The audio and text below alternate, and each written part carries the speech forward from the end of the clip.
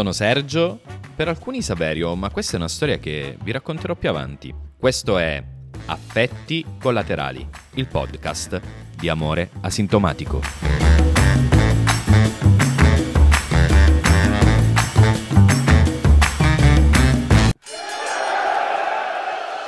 Benvenuti signore e signori al match del secolo. In questo angolo del ring, con i guantoni rossi, il peso piuma, ma che fa cazzate davvero pesanti, l'incontenibile, il palpitante, l'indomito, cuore. E nel lato opposto con i guantoni blu, calcolatore, freddo, logico, pesante, perché un pesantone per ogni scelta che noi dobbiamo compiere, signori, il campione della ragione, il cervello. Match di oggi non poteva che iniziare con l'eterna lotta tra cuore e cervello, che poi sono anche il simbolo di amore asintomatico. Ah, per chi non mi seguisse, se vuole può farlo andando su Instagram. Ma chi sferra il primo colpo in questo round? Sicuramente lo sferra il cuore, perché il cuore è quello che prende sempre il sopravvento quando incontra quella persona che decide che deve essere la persona che deve amare, inizia a palpitare così forte, a battere, a darci tutti quei segnali in cui ci sta dicendo «Ehi bello, io mi sono innamorato, adesso sono fatti tuoi, insomma, decidi cosa facciamo?» I love you! A voi è mai capitato di innamorarvi all'istante del tipo mi avevi già convinto al ciao, per citare il film Jerry Maguire? Ecco, se vi siete mai chiesti perché quando parliamo di amore è sempre il cuore a comandare, e no, non sto parlando di quella piccola pompetta si può dire pompetta in un podcast? Vabbè, comunque, sto parlando invece di quel sentimento profondo che ti fa battere il cuore come quando ricevi il messaggio della persona che ti piace o quando ricevi la notifica di quello stronzo o di quella stronza che ti aveva gustato mesi fa. È inutile che guardi il cellulare perché la notifica è un suono di questo podcast, spoiler, lui non ti ha scritto. Dicevamo quindi, in questa eterna lotta, questa dicotomia tra cuore e cervello, dicotomia mi piace un sacco, eh, dà quasi un tocco alla super quark a questo podcast. Ok, ok, dicevamo, in questa antica dicotomia tra cuore e cervello c'è del vero o gli antichi dicevano delle cazzate? Perché quante volte abbiamo sentito dire, oh, ahimè, abbiamo detto, mi ha spezzato il cuore? Perché le emozioni forti, sia positive che negative, sembrano venire proprio da lì, dal, dal nostro petto. Ma perché? Che cosa ci dice la scienza in merito? Per questo secondo round ho studiato un po' di più e ho scoperto che sia il dolore fisico che quello associato all'amore risiedono nel nostro cervello nello stesso posto, che si chiama corteccia cingolata se si chiama così per il tortuoso percorso dell'amore, fatto di alti e di bassi, eh, più di bassi che di alti, beh, questo non lo so, non l'ho studiato. Fatto sta che quest'area è responsabile sia del dolore fisico che di quello emotivo e vivono insieme tipo una coppia in un monolocale di 30 metri quadri a Milano. Se è stato un errore di progettazione o una questione di budget quando ci hanno creato, eh, no, non so neanche questo. Tutte queste emozioni passano per un grande mediatore che si chiama il nervo vago. No, non vago tipo il sì, ci vediamo prima o poi per un caffè che ti ha scritto il tipo che ti piace. Il nervo vago è questo lungo cavo che attraversa diverse zone del nostro corpo, inclusa l'area del petto. E quando proviamo un'emozione intensa, sia amore che dolore, il nervo vago trasmette segnali alla nostra corteccia cingolata, creando quindi quella sensazione che c'è tanto familiare. E quindi quando c'è questo sovraccarico emotivo, questo cortocircuito di sentimenti, il nervo vago manda il segnale anche al nostro cuore che poi ci fa avvertire quella stretta al petto. Insomma è tipo, ok, devo farti sentire questo in modo che tu possa capire quanto mi piace la persona che hai di fronte. Quindi questa emozione fa su e giù per il nervo vago, va prima alla corteccia cingolata, poi ritorna al petto, insomma, ecco perché poi non ci capiamo un cazzo quando siamo innamorati.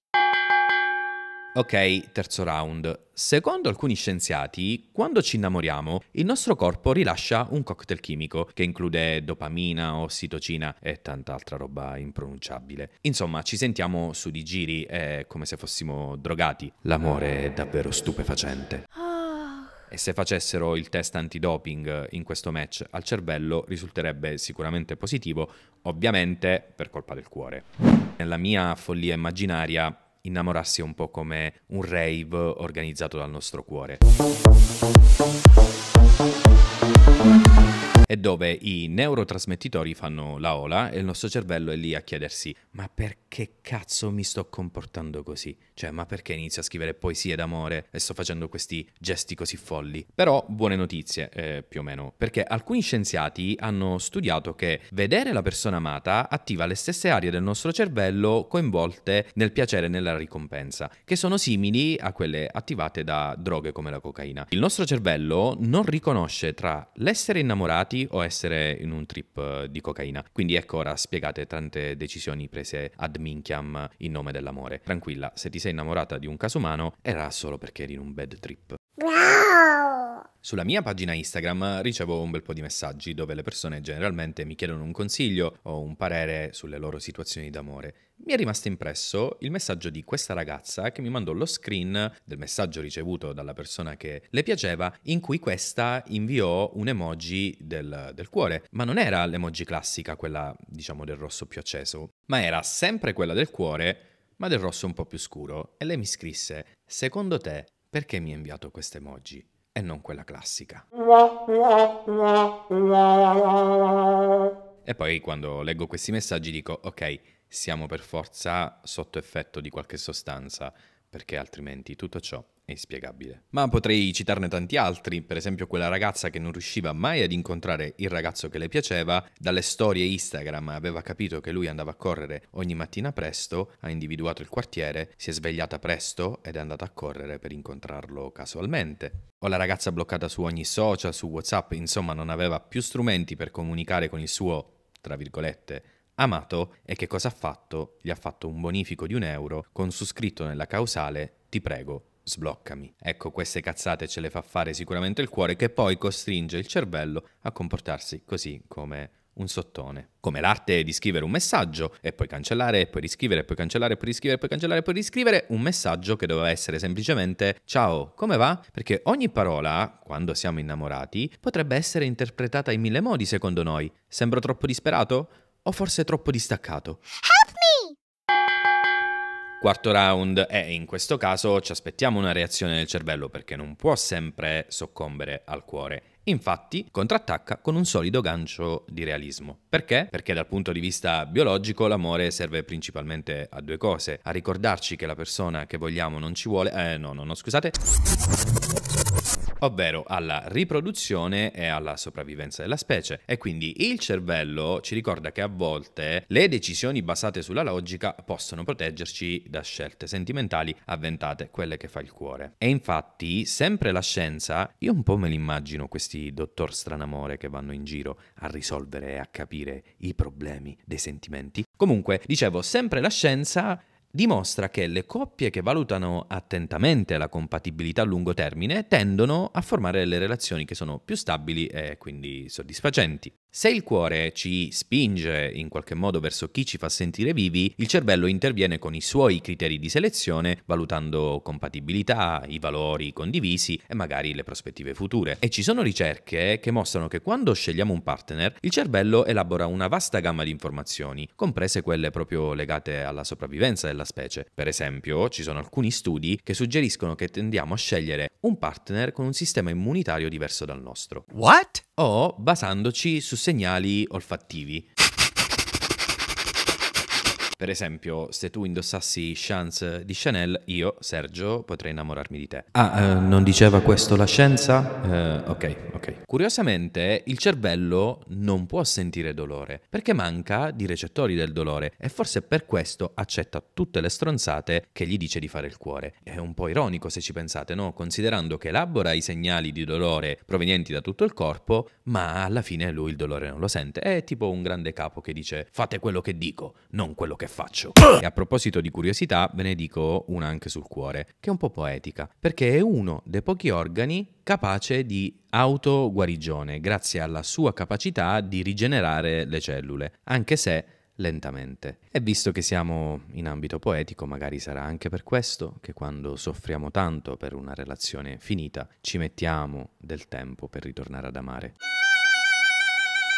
Ma ma per non rimanere incantati da questa vena poetica, vi devo dire che quello stronzetto del cuore ha anche lui una sorta di sua piccola mente, che è conosciuto come il sistema di conduzione intrinseco. Questo sistema gli permette di battere anche se separato dal corpo. È come se il cuore avesse una sorta di sistema di backup, pronto a dimostrare che lui può farcela da solo, indipendentemente dal cervello. Ve l'ho detto, è uno stronzetto, quasi quanto i vostri ex. Siamo all'atto finale, all'ultimo round e se ho dato un punto al cuore do anche un punto al cervello. E chi vince questa battaglia? La verità è che un vincitore realmente non c'è perché cuore e cervello devono lavorare insieme, devono essere in sintonia, questo lo sappiamo, quindi non possiamo affidarci però solo alle emozioni o solo alla logica. La verità è che l'amore è una forma vera, è una sorta di partenariato tra cuore e cervello, dove ogni decisione, ogni battito e ogni pensiero contribuiscono a creare qualcosa che sia unico e meraviglioso. E il problema è che di questi tempi trovare l'amore è davvero difficile. Cari ascoltatori, mi sento un po' Mike Buongiorno. Allegria! La prossima volta che il vostro cuore sarà in subbuglio per amore, ricordatevi che dietro tutte queste sensazioni c'è un intero mondo biologico e neurologico all'opera e voi dite ma a me che cavolo me ne frega, io sto soffrendo così tanto per quello stronzo che non mi visualizza i messaggi? Lo so, lo so. E quindi, siccome non voglio chiudere questa puntata con un messaggio speranzoso del tipo vedrai, l'amore arriverà, no. Per me invece bisogna imparare a innamorarsi di se stessi, imparare a perdonarsi, a darsi ogni tanto una pacca sulla spalla, insomma, prendendo coscienza di chi si è, perché forse solo così, capendo quali sono i nostri valori e i valori che noi vogliamo ritrovare nella persona che vogliamo avere accanto per tutta la vita o comunque per una parte della vita, solo così facendo riusciremo poi a riconoscerla.